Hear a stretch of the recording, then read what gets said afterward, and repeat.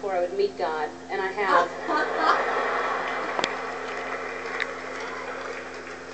what a day that was.